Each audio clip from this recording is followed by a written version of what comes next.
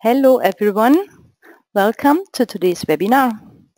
We introduced a new add-on module today, the module RF Form Finding. A lightweight, elegant and also effective alternative to build roofs are the constructions of membrane and cable structures. My name is Gerlinde Schubert. Some of you might know me already. And my colleague Andreas Niemeyer, he will help me throughout the web webinar answering all your questions. He's responsible for the module. So he's the best person who can help you with all the questions. And he tries to answer all the questions that come in. But just in case there are too many questions coming in, you might you definitely get an answer, but it might be after the webinar via email. Here on the right hand side you see a picture. That's one of the example we look at today. So this is something you will be able to do after you've seen this webinar today. Just for the people who are visiting the first time, a webinar from Dlubal. This is the GoToWebinar panel. You can show and hide the control panel by clicking the orange button up here, or you can use, this is the most important bit, you can use this edit field down here to ask your questions. Please keep the questions short. So let's start. A bit of theory first. I think it's important that we discuss a few things about the form finding process. First of all, before we look into the examples, I will explain the features of the add-on module, RF form finding, and later on we have a look into RFEM as well and we will see some examples but I come back to this content list once we did these two steps. So Uh, as you all know membranes, membranes and cables can only carry tension forces and so a correct form of the construction is required. The used materials do not have any bending stiffness. So the form of the structure depends on the pre-stress that is inserted into the structure. That's a very important point here. It's not possible to separate the form finding process from the pre-stress design. So as soon as you change anything on the pre-stress, you have to find the new form depending on this pre-stress. So you either define the boundary conditions in the pre-stress and then the form is calculated or you do it the other way around. You define the form that you want to have at the end and define the boundary conditions. And then the required pre-stress is calculated. So, but they are really connected and can't be separated. So following from this, the form is obviously also load dependent. So for example, you can consider the self-weight for the form finding process or you can have some pneumatic pressure which can be used to pre-stress the structure in practice. So there is an so what the second point is that the form finding process does not depend on the material properties of just beside the zero bending stiffness, but all the other material properties are not of interest for the iterative process itself. So there's an iterative approach based on the, it's called the updated reference system method. This is invented by Professor Bletzinger in the year 1999, but it's modified since then. So if you just Google the name, you find loads of literature um, uh, yeah, describing the, the form finding process. So what's the, there are some difficulties with defining the pre-stress. So you can imagine that a double curvature membrane structure, so I mean a three-dimensional structure which is bent over in all directions, this needs a different pre-stress definition at each point of the structure.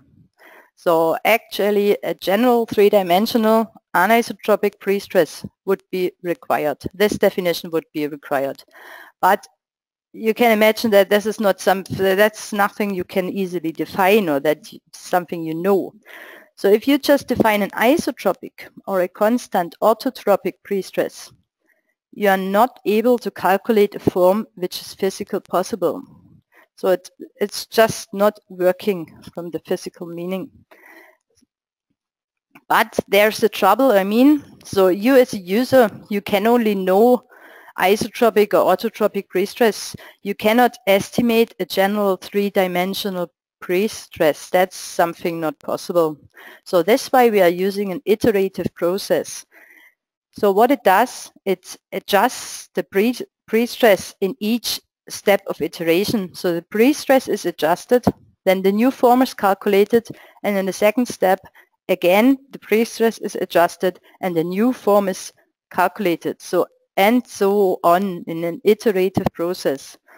And you can, you as a user can set the number of iterations that is and up to yeah when the when the pre-stress adjustment stops. So you can kind of change the number of iterations. So you can uh, therewith influence the final form that you calculate. So we have two different methods implemented into RFEM. So you have the projection method. This is suitable for high cone-shaped structures. So here the user-defined isotropic or constant orthotropic pre-stress is used in radial direction. So which means in, in case of a cone-shaped structure, this means at the bottom of the cone. And then in the tangent direction, it is projected and it's for the calculation, the equilibrium conditions are used. So you only have your defined pre-stress at the bottom of the cone, but it will change a lot as as you go higher up the cone, up to the far top. So here with the projection method, you cannot expect the pre-stress that you entered. It will adjust. It will be adjusted a lot. With the tension method, this is basically it's suitable for all other structures, so for supported and for pneumatically stabilized structures. And this method tries to approach the user-defined pre-stress as closely as possible. And it really works very well if you enter an orthotropic pre-stress of 1 kilonewton per meter in one direction and 1.5 in the other, you get indeed very close results. And we will see this in the examples and I will emphasize these two methods again and show you the advantages and disadvantages of both. So that's all I want to tell you about the theory. Everything else and more in detail and equations, you can read all this in the, in the literature. Just to summarize the features of the add-on module RF form finding. So the, the form finding case, it's defined as a case in RFEM, is calculated first and is basis for all that follows. So all the loads you define afterwards are calculated on the deformed shape and it's used basically for the complete result evaluation and the design afterwards. So everything is calculated on the deformed shape. Then you have these URS calculation, that's what I said already. We have both the methods available in RFEM. We have um, two different pre-stress definitions available, isotropic or constant orthotropic, which are then adjusted during the iterative process. For cables, you can also define a cable sag instead of the pre-stress. So this is, you can define the final form that you want to see instead of the pre-stress. And then what we have available, and I think what's actually quite important to have, are the are intermediate supports that are available just for the form finding process. So you can deactivate supports once the form finding process is completed. You can consider self-weight and internal pressure. And uh, that's quite obvious, I think. So the, all the deformation of the substructure is considered. So that's all for the for the just for the PowerPoint slides right now, and we go ahead and have a look into RFEM now. Here we go. So we start with the first example. I will show you first two quite easy example, maybe that's not the right word, so two examples which um, demonstrate the two different calculation methods, so the tension method and the projection method. And I will show you um, advantages and disadvantages of the method. And after this, I show you a bit more complex structures, also membrane structures, and at the final end we will have a look to one cable example today. So you will see five example five examples during the webinar today. So the first one, we start from the beginning on. I just opened RFEM and I create a new model and I just call it Form 1. And that's all. I go to the options and this is important. So the module RF form finding is embedded into the RFEM. So you have to activate it here in the general data and under options. So I click OK. Yes, because that's because I practiced earlier on this morning. So usually you have all the add-on modules down in the list here, but not so with the RF form finding. The RF form finding is embedded into RFEM. So what I do is I just um, create, I define three lines. I change the work plane to the XZ plane and I define three lines just from, oh, I decrease the size of my tables. We don't really need this and I increase this. So from 0 up to the minus 10 in x direction 10 and back to the bottom. Three lines defined. Then I want to ex extrude these lines, so therefore I select them, click right on them, and there is a extrude line into surface.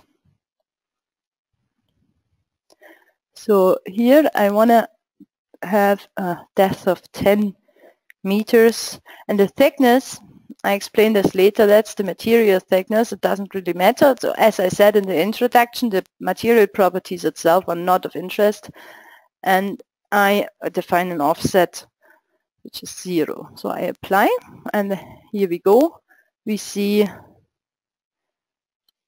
we see our created surface. So now I have to define some supports. So and I'm defining line supports which are just hinged. So you have these pre-choice in here, the rigid and the hinge.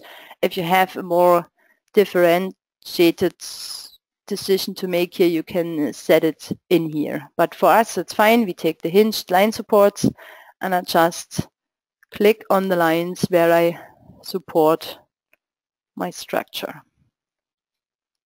So here you go, basically all three lines. Yeah.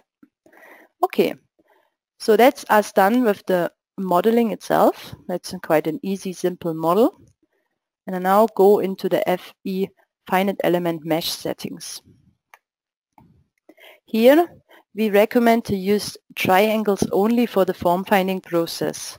This is because square finite elements tend to warp and this is an effect we do not wish for the membrane and cable structures. So the triangles, they are not twisting as easily. So that's why it's better to use the triangles for the form finding process. So I've set triangles only and click OK. I can also generate the finite element mesh and you see that we only have triangles. Now we go into the calculation, calculation parameters and here you have a new tab now, the form finding tab. And here are the calculation methods that, that I explained in the introduction, the tension method and the projection met method. Here is the point where you set the number of iterations for the loading for the pre-stress. So this is these are the number of iterations as for the adjustment of the pre-stress. So the smaller this number is, the less accurate is the final pre-stress pre that you achieve. You could consider self-weight. That's done down here. And here on the right hand side, this is for precision and tolerance. You can change the standard settings and especially the bottom one, that's one we will use in one of the examples. This is you can um, lower the speed of the convergence and this you it's just uh, the, the calculation process itself takes longer but uh, it's more likely that you get results so that the the calculation is stable. So that's all. We've used the tension method here and we keep all the standard settings. So I just click OK. Another thing we have to do is we have to define the surface settings. So I selected all the surfaces, I click right on it and then I can edit my surfaces. And here it's there's a material defined now in here, but as I said, it's not important what we define as long as we just, our model is, the whole model is made for the form finding process. So there's no interaction between different materials here. So as long as this is the case, the material definitions are not of interest. So I ch changed to here to a membrane. And now I have, I can make some further settings in here by clicking the edit parameters button. Here's the place where you define the pre-stress. You have several options here, isotropic or the orthogonal settings, just a bit different in the way how you enter it. And you can always define the pre-stress as a stress or as a force. What we do, we just define an isotropic pre-stress and we want to define it as a four force with one kilonewton per meter. So that's all we have to do. I just close all these dialogues by clicking OK and calculate the form finding process. Now it runs OK. Sorry for this. Now everything works fine. So we look at the global deformations right now. So here you see the found, that's the form that is calculated. And we have a look to the, the basic internal forces, which is Nx and Ny. So here in the panel, in the color scale, you see that we indeed reach the 1 kilonewton per meter. And these results are pretty good. And also in the direction Y. I rotate a bit, yeah. So we reach the 1 kilonewton quite closely. So this is quite nice. One word to the global deformation. When you look at the global deformations, these are the values you, you get here are the deformations from the initial shape down to the deformed shape. So you have to adjust this deformation scaling factor here to zero, otherwise the, the picture is getting a bit confusing as you see when I enter a 1 here. So that's because everything is shown on the deformed shape and not on the initial shape. So the loads are usually, so here that's the default for the, for the forces, for the results, but not for the deformation. So a few more words to the display navigator. You can have, you have a part here, that's called FE mesh form finding. And here you can activate the initial shape in here. You can also have the original initial form. This is sometimes important. That's why I wanted to show you. Then I explained in the introduction that this number of iterations is quite important. So just remember that we had quite our pre-stress that was finally calculated uh, is very close to 1. And when I now reduce the number of iterations, for example, to 5, down to 5, and I reperform the, the calculation of the RF form finding case, then you will first see that the shape is different now, so it's not as deep down. So this is the end. You also see that we don't reach our 1 kilonewton per meter as well. So we are further away from our defined pre-stress at the beginning. So you can really work with this number of iterations. So this was the first example using the tension method. A quite easy example, but this was to show you how the tension method is working and how you can deal with the, with the iterations. So now we define a second one. So I create a new case. It's called a cone. And I click OK. And Again, we start with an empty RFEM surface and I change to the work plane XZ and I define a line just from here from x is equal y up to this point here. So just one line this time. And we now want to rotate the line to build up a surface. So what we do, we go onto this button here and in here you have the rotated surface. And here I can change to membrane already. I can do this and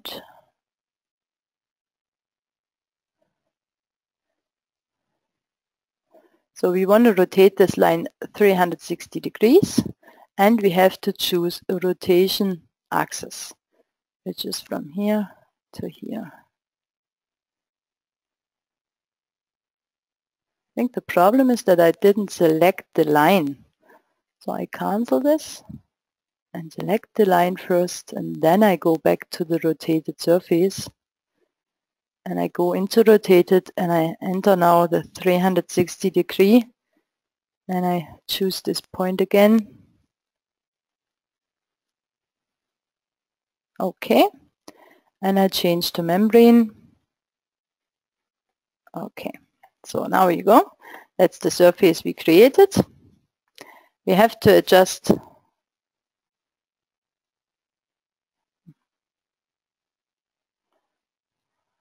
Okay. We want to set the FE mesh.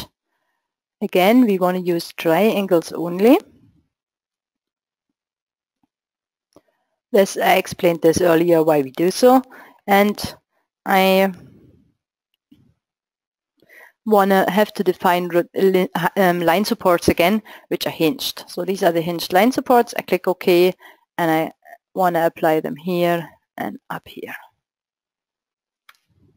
So we go into the calculation parameters. Ah, I tell you now what I forgot. That's the most important thing. We have to activate the form finding module as this is embedded into the main program RFEM because I've, I was wondering why I've set membra membrane as a surface and I was not allowed to uh, click on this edit button but the, reason uh, I understood the reason now we have to activate the form finding module which is here otherwise you are not able to do all these settings so now I can go into this and now I have this this was grayed out this was inactive and now I can exit it and I can define again my isotropic pre-stress. I tried again with an isotropic pre-stress for this easy example. So one kilonewton in both directions. So this is okay. And I can also now access the form finding tab in the calculation parameters, which was not available early on. So, okay. This time we want to use the projection method as this is a cone-shaped structure. So we use the projection method and I increase this number of iterations to 50.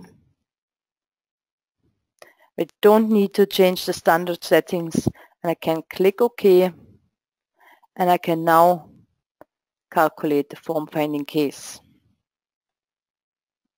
So here you go. That's the resulting shape That's how it looks like. And we can double check again the, the internal forces, the normal internal forces. And now you see, as I explained it earlier, the projection method, here you cannot expect the pre-stress as you, as you defined it.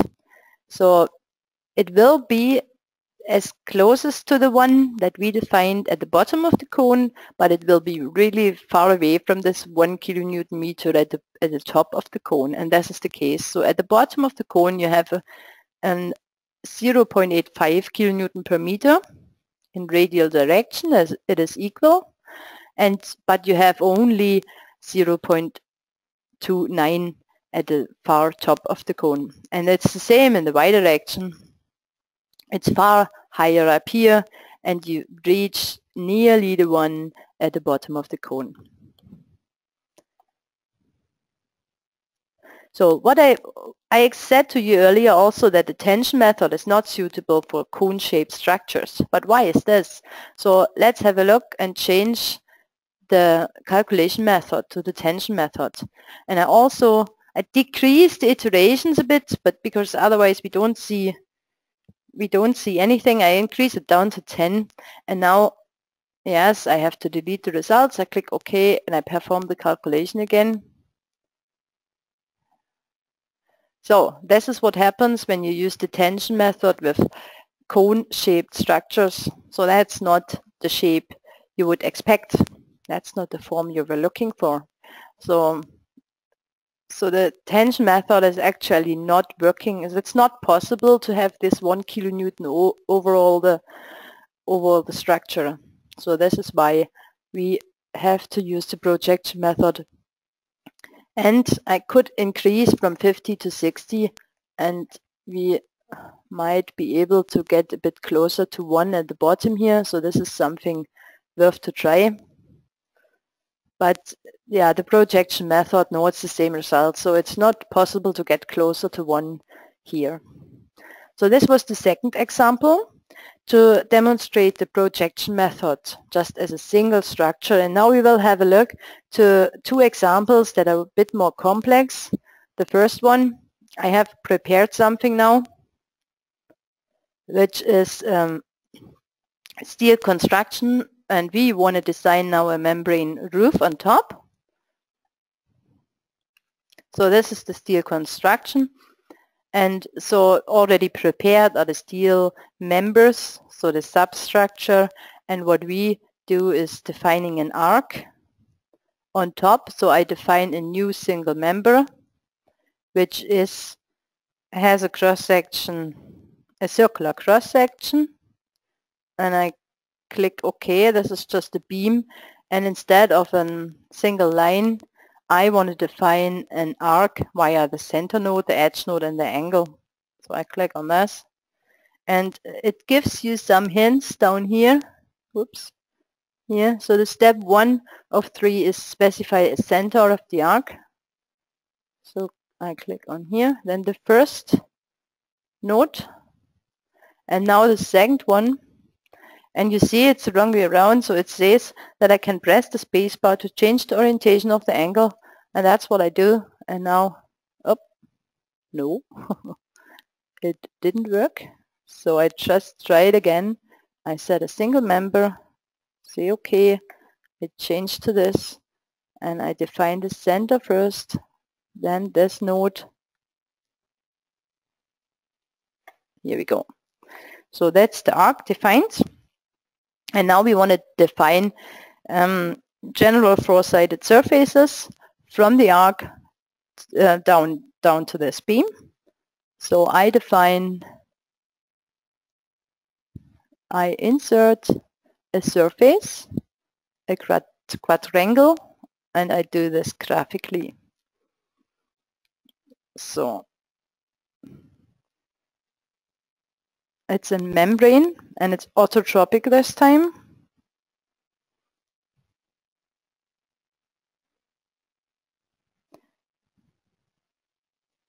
I define a, um, oh, I have to show you something before I do so.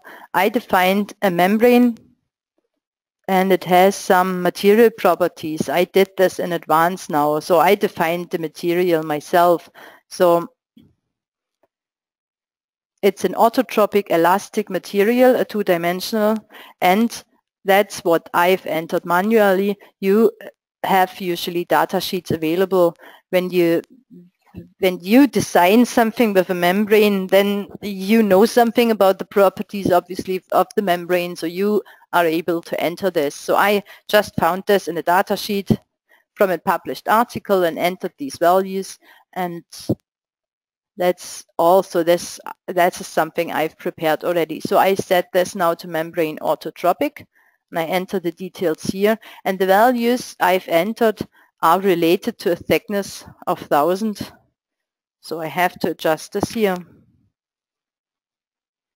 and then you can have a look into the stiffness matrix that is calculated from the values provided and so on. And here the last tab is the form finding tab. That's what we are interested in. So this time we want to define an orthogonal um, pre-stress and we define this with an angular rotation, which is just the rotation from the global to the local axis system. And I define 1.5 in x direction and 1.0 in y direction. Okay, now I still have to define the boundary lines. So I changed to a wireframe model, so I think that's a bit easier. So I changed, I select the arc and I select all the lines around the surface and that's me done. You can have a look. That's how it looks like. So that's the mem membrane surface I've defined. And now I want to mirror this. So I select, oops, I select the surface and I use the button mirror. I want to create a copy and I want to choose, I select the, my mirroring plane by selecting three points and I can do this in one step, select all three points of plane. And so I select these points and I click OK and that's me done with the definition of the membrane roof. So we double check all the other settings so there are always a few things we have to do. The FE finite element mesh settings, triangles only, that's okay. We go to the calculation parameters where we have the form finding tab. Here we use the tension method. That's okay. The iterations are okay. That's fine. And now we can calculate the form finding case.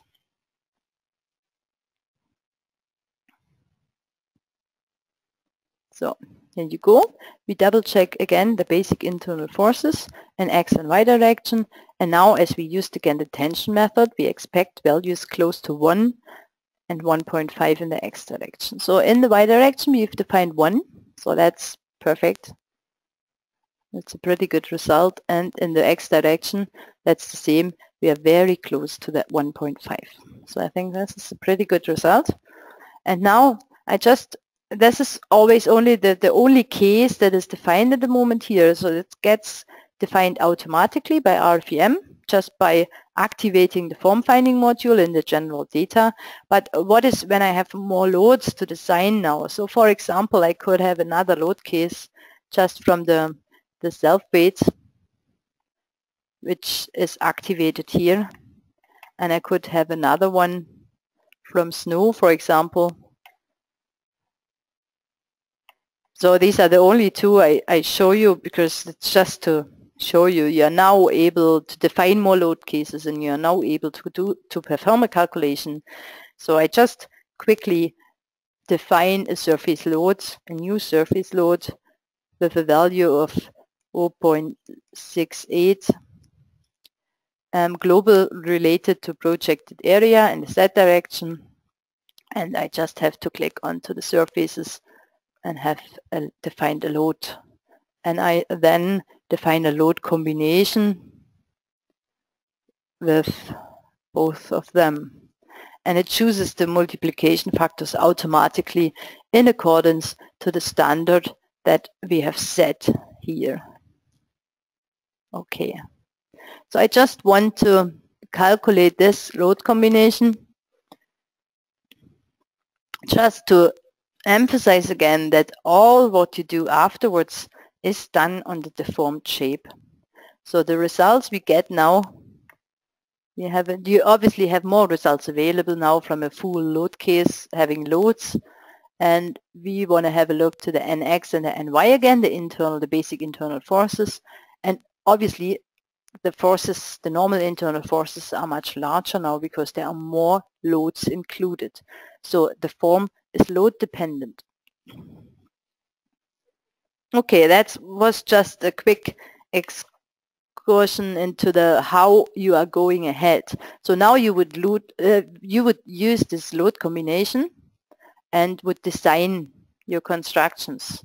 We have some add-on modules available to do so. So you have, for example, the RF Steel, Eurocode 3, you have the RF Steel members, you have RF Steel surfaces, and you have several things for concrete and so on. So there are several modules available to now perform the design of the constructions itself.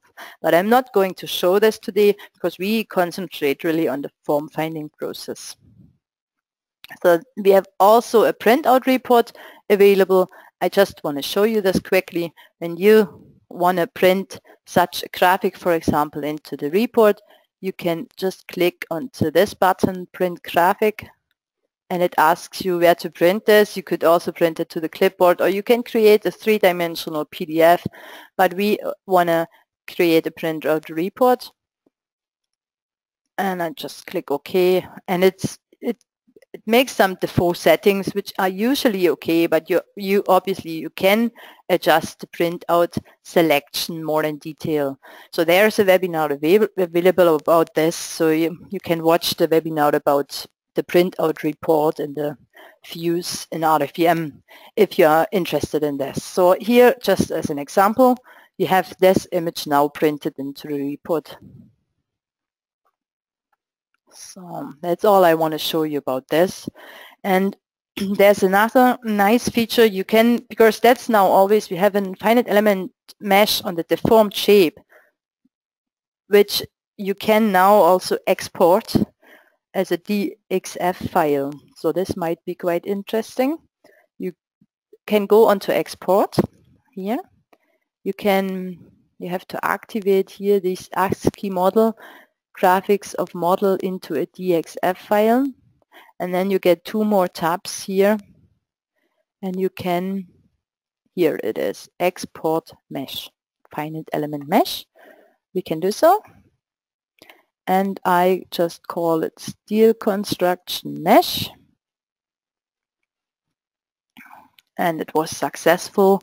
And now just to show you you could also have a finite mesh from somewhere else and could import this. Or you can use this one again and import it back into RFEM so that's what I want to show you. So you have the same way file import. You have the possibility to import DXF files. So I click on this and then I have, that's all I have to do basically here. You could create also members, but that's, I only want to import the mesh right now. So I select this one. It asks me to create a new file. I call it also steel construction mesh so that it's not getting confused with the example we have open already. And now it takes a wee while and here you go. So this is the FE mesh imported. So this might be useful for some of you. And now I want to go ahead and have a look to a fourth example today. So I have prepared something again, a group of tents. This is the picture you have seen at the far beginning of the webinar. In the PowerPoint slides, you have seen the picture of the of the final shaped group of tents. So here I've made some settings already. So we have the the surface definition is done already. So I just show you we have defined an isotropic pre-stress of 1 kilonewton meter in both directions. We have, you see columns with fixed supports down here. So these are nodal supports that are completely fixed. Then I did the calculation parameters already. We will, we will use the projection method as these are again cone-shaped structures. I've set the number of iterations to 50. Yeah, that's all I want to show you. And I know the ring on top here, this is important to the to avoid singularities. This is something we did already in the first example as well, where, where we looked at the cone, but I didn't emphasize this as much. It's important that you not create an, any singularities up here. So if you would build up the cone up to the far top, then you definitely would end up with a singularity. And this is not something we are interested in. It gives failed results. So that's Something that I come back to later on are these fixed supports. So for now I keep them as they are and we calculate the form finding process. It takes a wee while as, the, as we are having already four tens now, four cone-shaped structures and here we go. This is the result and this is nx so this is projection method so we don't get the one kilonewton meter as we said it at the beginning and this is the ny so these are the results. So it looks pretty nice. And now what I want I want to create a self-weight load case. So just as is. And I want to calculate this one.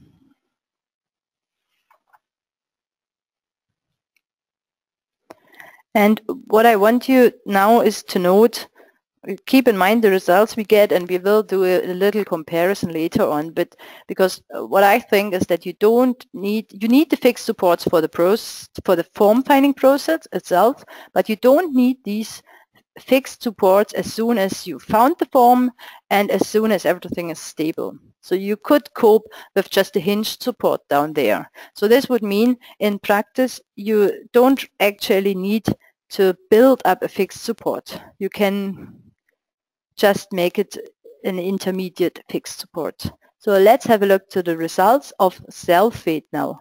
So in the y direction we start with a we have a low pre-stress at the bottom of the cone of 0.6 and R is high um, up to 3.8 at the far bottom, at the far top of the cone and in the x direction this is the lowest is 0.35 and the highest is 2.05. So keep this in mind. What I want to do now is I don't want to display the results. I want to select the nodes with the fixed support only, nodes with support, and I want to select the fixed supports only. So this is now a user-defined view, and I can select them quite easily. I want to edit them. These are now the nodes. No, I want to edit the nodal support. And I want to change this here. And as I said, I think we don't need the rotation restraints. We just need it temporary for the form finding stage. So I can activate this one. This is kind of a non non-linearity now. And the color of the support changes to blue.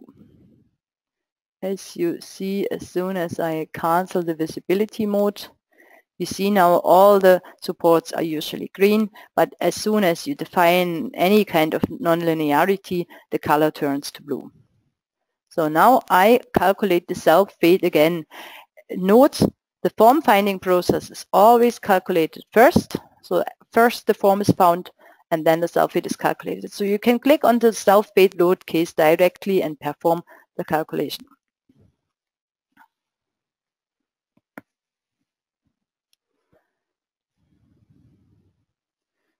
So as soon as this is done, we have a look to the internal forces again, and we will see the res results are very similar. And this actually means that's true what I've said. You don't need a fixed support once you've found your shape. So this is a quite nice feature that you can deactivate your supports after the form finding, after the form is found. So here you go. This is an X load case self-weight and we start with a 0.34 which is we had we had 0.35 before and this is as high as 2 so this is the same as before and in the y direction it's actually the same so because now for the self-weight load case this is only a hinged support so last thing I want to show you something graphically I want to show you here. It's a quite new feature since the version 505. We can have, we have now a clipping plane it's called. And as you see it already what happens, it kind of cuts through your model I adjust the delta a bit so then we can play around with this and now you can just use the arrow down and up, up and down buttons to go through. You see what happens. So this might, might be quite nice. So a three-dimensional run through the structure. So here you go. So that's us done with the membrane structures we wanted to look at. So this we, we looked now at four different examples. And now last but not least we have a look to a cable structure just to show you a few things that are typical, typical for cables. So I have defined already a mast with cables. So this is how it looks like. A mast and four cables in the three-dimensional space. And I show you what I did. This is a defined cable and I think we have to, I have to select them all. So I go to fuse and you can, that's a quite nice, these visibilities, really try to use them as you can. Now everything is hidden, it's just grayed out and when I select it, I only select the, the cables as I've chosen here. So this is the only available now for selection. So I can edit my members and I can go into my dialog here, edit member type. And here you see the different options for cables. You can either define the final form that you want to have so that the cable sag, or you can define a pre-stress force. We start with a pre-stress force, so I define 1 kilonewton here. Okay. I double check all the other settings again, the form finding tab, we use the tension method. This time we consider the self-weight. And here in this example, I had to adjust the standard settings. So what I did, the default values are always 1, and I decreased the speed of convergence here because otherwise we don't get stub and, and stable results. So, and I double check also the finite element mesh. Ah, it doesn't really matter for cables. This is only important for surfaces obviously. So now I can calculate my form finding process. And the results we have available are the internal forces N, so the normal force, and this is indeed close to 1. It's the same issue as we discussed for the for the membranes. It's not possible to an isotropic pre-stress is not possible. You don't get a physical form. So that's why it is not constant one. That's why it's increasing. So um, the global deformations is something. So it's not a huge cable sag that we reached with the one kilonewton. It's just a self-weight that makes the cable sag, but we it pre-stressed it slightly, so we end up with a deformation of 83 um, 81.3. And now, just as a final thing, I want to show you what happens when I, as I said, you can also define the cable sag directly. So I change to ge geometry here, and I define the target cable sag with 0.08 and I expect now the same results. Okay, okay, and form finding process is calculated. And yeah, it's very close to the result that we achieved earlier on. We get a cable sag of 84.1 so it's nearly the same and we can also compare the internal forces which are again close to 1 kilonewton. You can also have a look to the member diagrams and you see also here these are the internal forces N and you see also here the 1 kilonewton. So please note when you calculate now the self-weight when you calculate now the self-weight, you would kind of double the self-weight. That's not something we want because you have considered it already in the form finding process. So you said that you want to consider self-weight. If you now calculate self-weight again, you double it. So we calculate the wind only in this example. And just to show you this. Okay. So that's me done with all the examples. I think, yeah, that's all. So you have seen four different membrane examples, which did show you the different, the two different calculation methods. I did show you one cable example. So I think you've got a good overview about what's all possible with RFEM. And you can test the software to try it all yourself. So you have the possibility to download a trial version that, which is free and which is a full version. And it's a trial license which is valid over 30 days. So you can try all this, what I did today. And when you are an RFEM user already, you can activate test versions, trial versions of each separate module. So and obviously also the form finding module, you can activate this and test it for 30 days with a full version. So just to finish up, so we have seen all these examples, as I just explained again. And ah, I want to emphasize a bit of future work in the RF form finding module. So this module is still in progress. We work always on the things and we try to improve them. So there is um, what we work on at the moment is we want to create a surface from the generated mesh, from the deformed mesh. So at the moment you just get the information about the finite element mesh, but you don't get a surface itself. So this will be one of the new features coming up very soon. And we also work on drawings for the design that you can produce out of all, all this. So similar to the printout report thing I've shown you, we work on drawings which are really proper usable for the design. So you can always have a look onto our website for any new features coming up. You can follow us online. I highly recommend the Dlubal blog where we post new features and explain the things a bit more in detail every day. And you can always write us an email if you have any questions. And if you have a service contract, you can give us a call and you get an answer straight away. There are more webinars coming up. The next one is within a month's time, I think, on the 5th of November. We will have a look into time history analysis and we will simulate uh, walking and running across a pedestrian bridge. And there are more webinars coming up later this year, so just have a look onto the website from time to time.